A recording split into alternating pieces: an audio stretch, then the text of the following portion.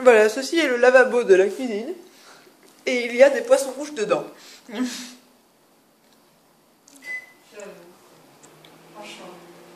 Ce n'est pas normal. Des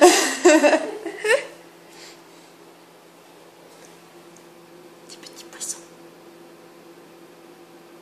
Faudrait de l'escoin un peu.